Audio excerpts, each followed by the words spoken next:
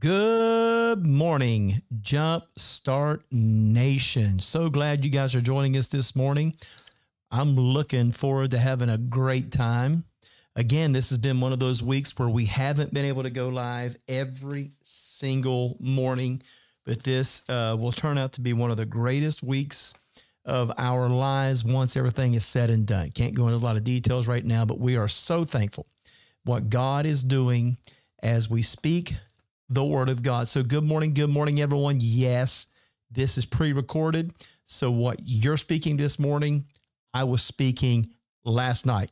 Last night at about 8 o'clock, 8.06 to be exact. So, good morning, Jumpstart Nation. Chat it up with one another, say hello to one another, put an emoji up. Uh, some of you are on Facebook. Uh, some of you are on Facebook Jumpstart 2.0. Some of you are on YouTube. So, we're kind of in three different categories now where at one time a year or two ago we were all just on Byron Mills Ministries Facebook. We've diversified. And uh, so it's all good because we're making room for growth and I'm excited about what God is doing. Make sure you text, make sure you uh, put in a, uh, a message and say hello to your brothers and your sisters, Jumpstart Nation. And those of you that are new to Jumpstart Nation, we welcome you. We're glad that you're on. Praise God. We are going to be speaking the word of God about who we are and what we have in Christ. We will pick up again on the Ephesians 1 prayer, but the Lord wanted me to take a break from that uh, just for a short season. Uh, if you didn't get to watch yesterday's Jumpstart, Thursday morning's Jumpstart about the Lord's Prayer and how the word daily, as in give us this day our daily bread, daily is probably not the best translation. Tremendous insight there. Praise God. And uh, just eye opening eye opening for me. But I want you to see something. Jumpstart Nation, love you guys, love you, love you. Make sure you share again. But Jeremiah, one of God's prophets, in Jeremiah chapter 1, verse um, 4, well, let me see here. Yeah, let me see here. Verse 4 through um, uh, verse 9. Let's do verse 9. Jeremiah chapter 1. I'm going to do verse 4. Then the, here, this is Jeremiah's calling. Now, Jeremiah prophesied, and his prophetic words changed the whole governments of the world. It changed everything. I mean, what God inspired Jeremiah to say caused governments to be overthrown. It caused kings to be deposed and new kings to be set up.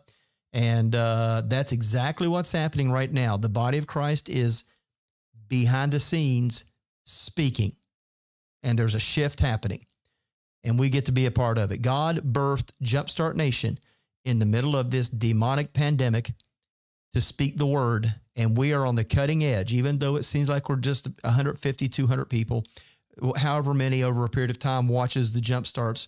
We are literally changing things by speaking the word of God. So listen to this. Listen to this. He said, Then the word of the Lord came to me, Jeremiah 1 4, saying, Before I formed you in the womb, I knew you. Did you hear that? Before I formed you in the womb, I knew you. God knew you before He formed you in the womb. So every baby that has been aborted and is still being aborted in some countries and some states, God knows every one of them. He is the one that is forming them in their mother's womb. It's a work of God happening that's being aborted and they're being transferred to heaven. All right. Uh, before you were born, I sanctified you. In other words, I set you apart for a special purpose. Before you were born, God set you apart for a very special purpose. His first purpose is for you simply to know His love, to be loved, to know His love for you. Number one. And then out of that love, you would express your gifts, your talents, your way of looking at things, your abilities, your personality. There'll never be another you. So God separated you to something special. Number one, to know that you're loved. Number two, to express that love to others, to be an expression of the love that you're feeling from God, expressing it to others. So say this out loud. You're ready to speak? Say this out loud. Before God formed me in the womb, He knew me. God had a relationship with me and knew me before He formed me in the womb. Before I was born, God sanctified me and set me apart as special, as unique. Then he said to Jeremiah, I ordained you a prophet to the nations. He may say to me, I ordained you as a pastor to Maysville, or I ordained you to be a father and a grandfather. I ordained, he may be saying to you, I ordained you to be a daughter, a sister, a brother. I ordained you to be whoever it is. All right. And then he said, Then said I, here's what Jeremiah said, Oh, Lord God, behold, I cannot speak, for I'm but a youth.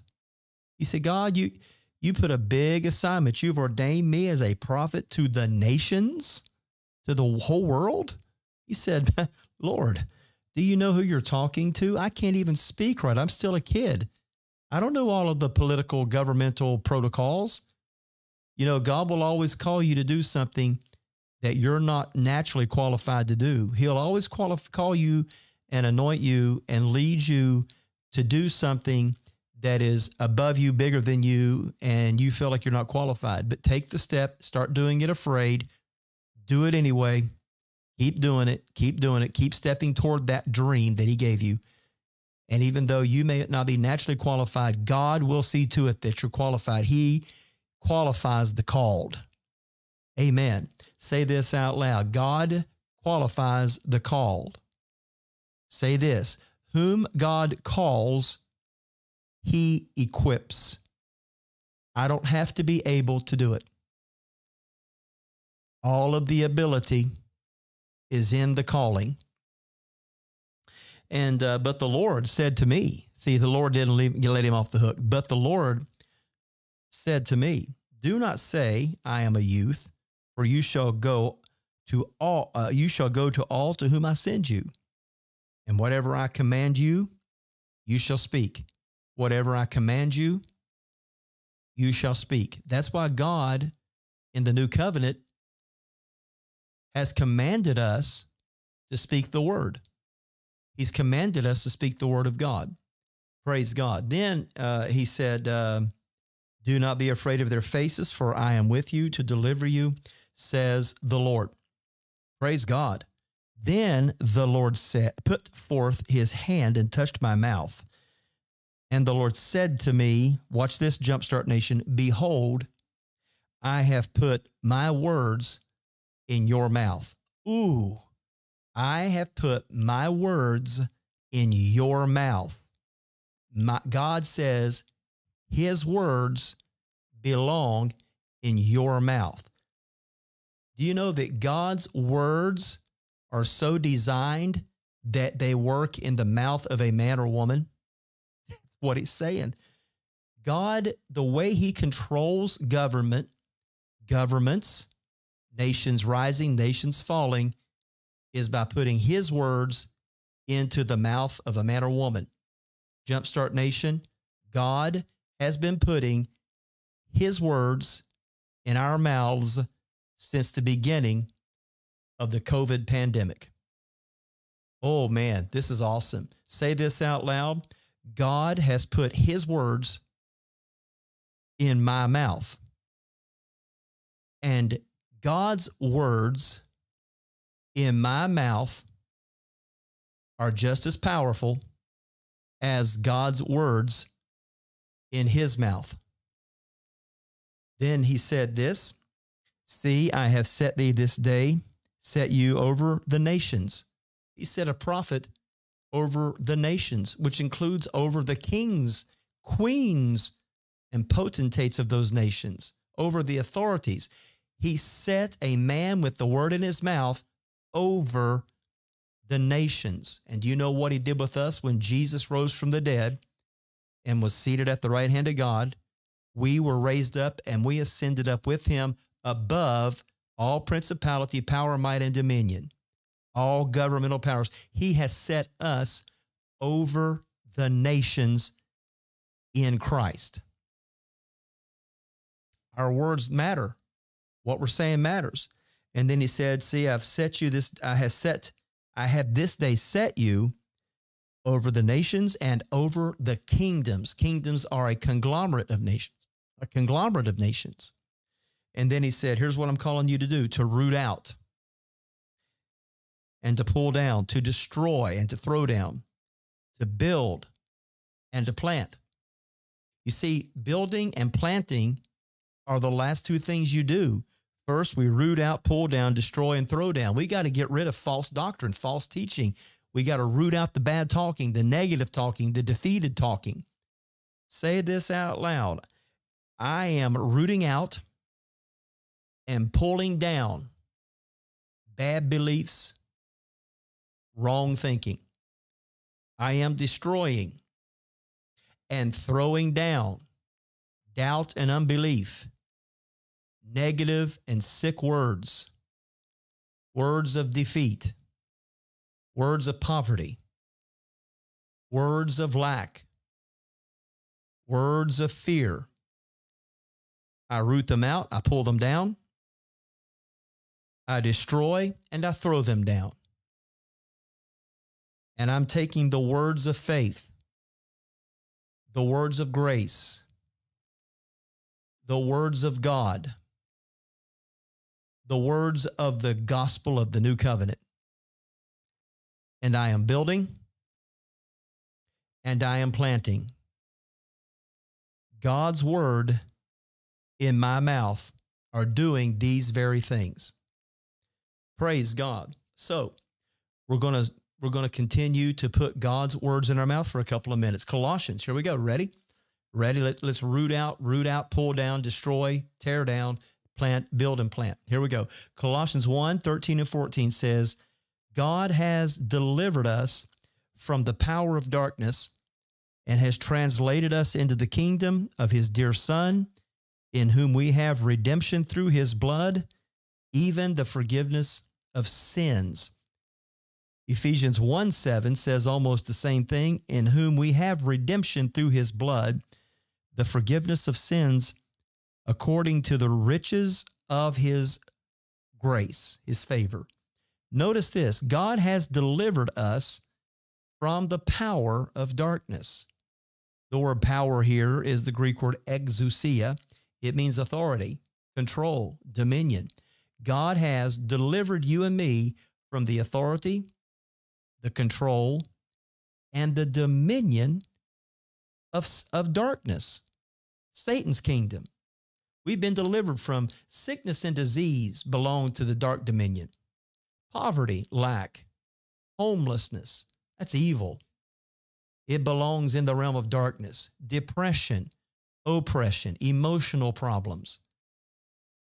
That's all in the realm of darkness.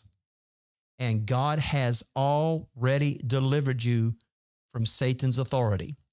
He has no power over you. He has no authority over you unless you don't know it, and he'll try to he'll try to steal it.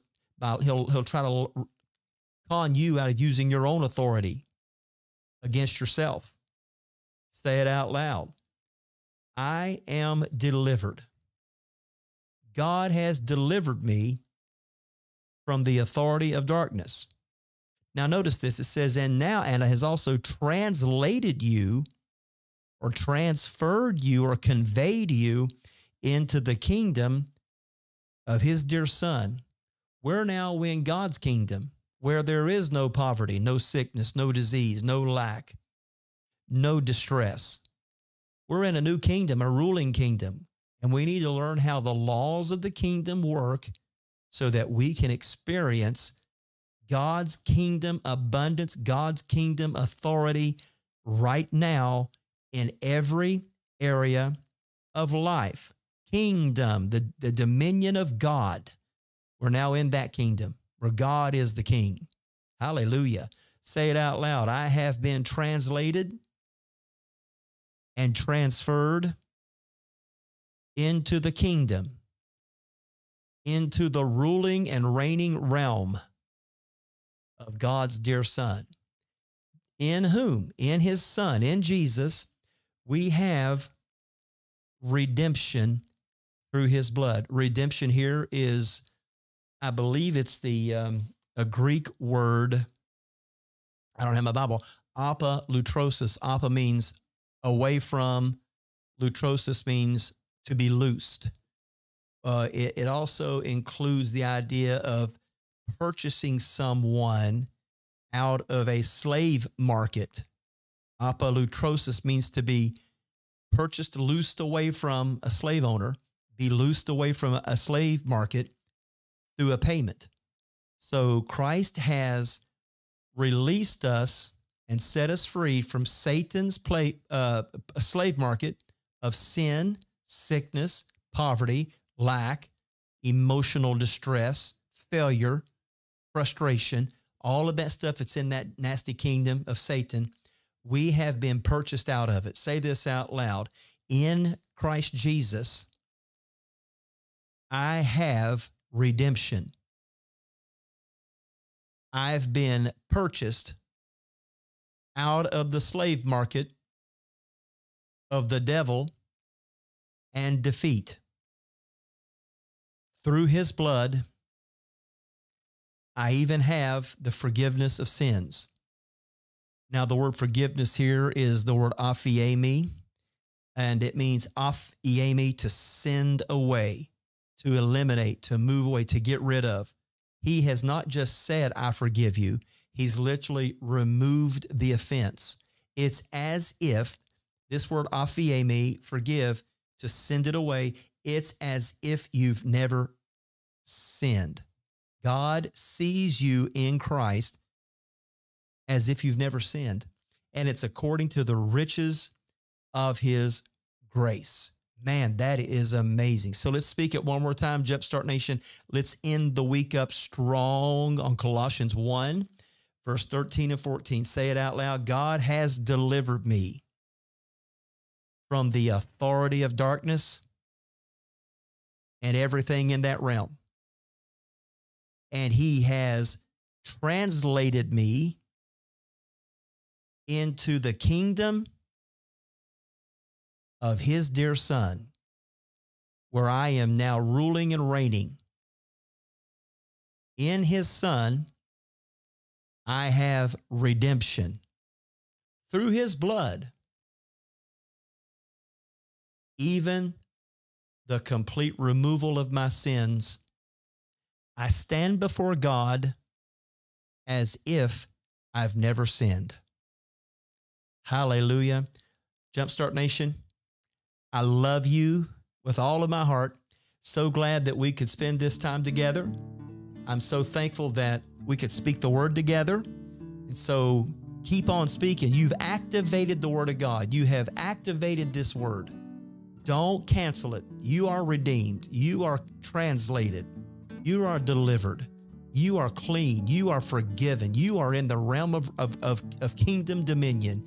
Keep speaking the word, just as God gave uh, Jeremiah great authority in his mouth to, to rule over nations. We are changing the political environment with the words of our mouth. We decree it and declare it in Jesus' name. God bless you guys.